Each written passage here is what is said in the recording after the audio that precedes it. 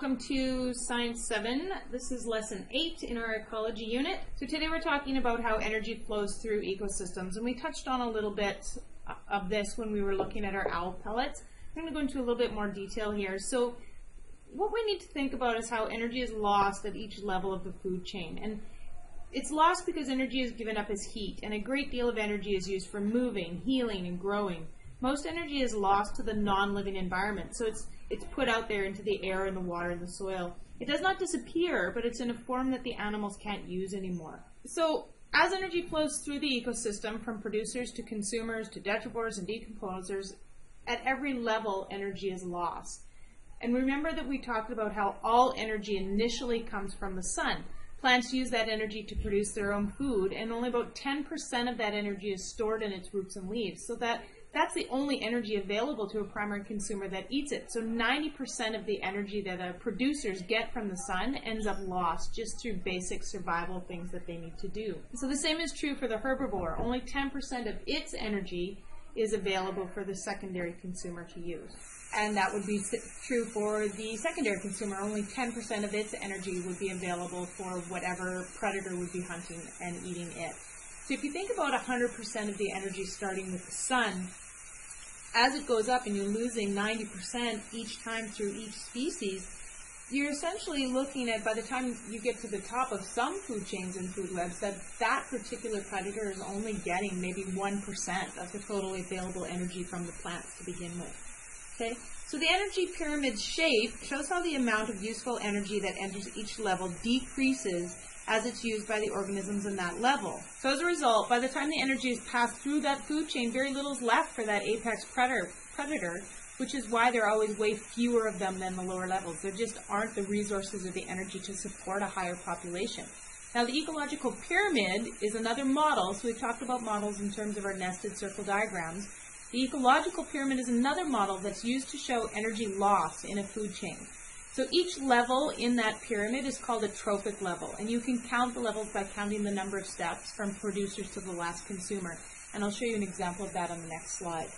The base holds the producers and goes up from there. So in any ecosystem, you find a huge number of insects to eat the plants, but a much smaller number of organisms in subsequent levels due to less available energy.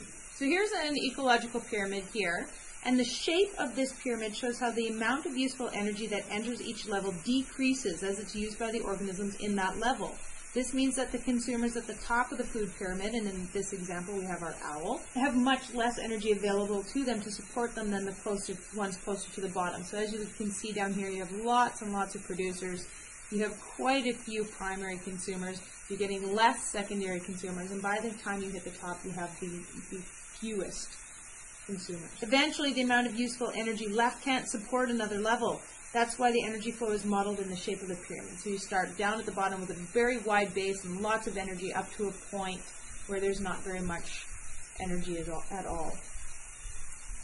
So as an example, male orcas range in size from 3,700 to 5,500 kilos and females from 1,400 to 3,700 kilos. So some orca populations are residents. That means the resident populations of orcas tend to eat fish, such as salmon, as the main part of their diet. The transient populations of orcas eat other marine mammals, such as seals, sea lions, dolphins, and porpoises.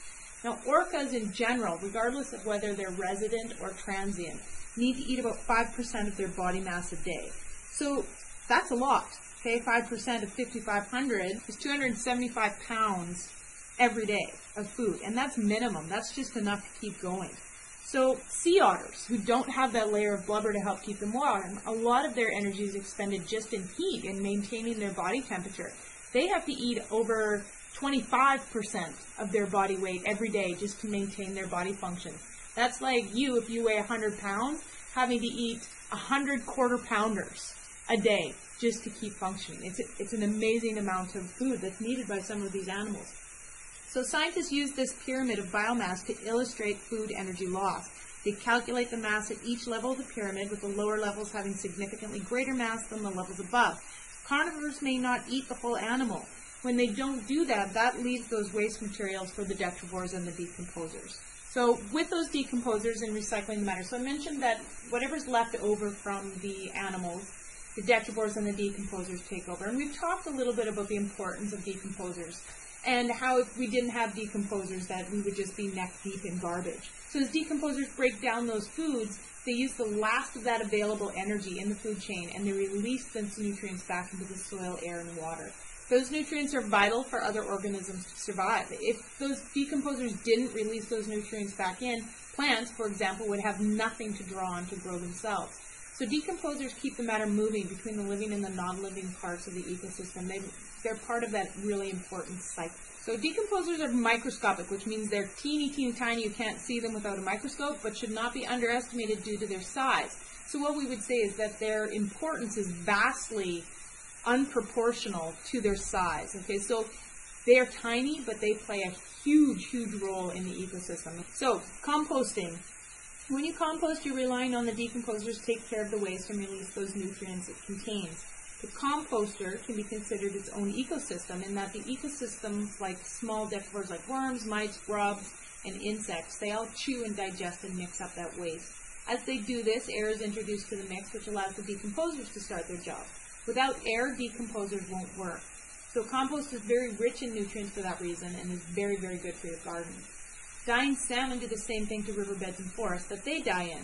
This is important for their hatching eggs in the spring. If those salmon don't die on the riverbeds or die in the river, the decomposers can't release those nutrients back into the water, and those eggs have no nutrients to draw on as they're developing to hatch into new salmon.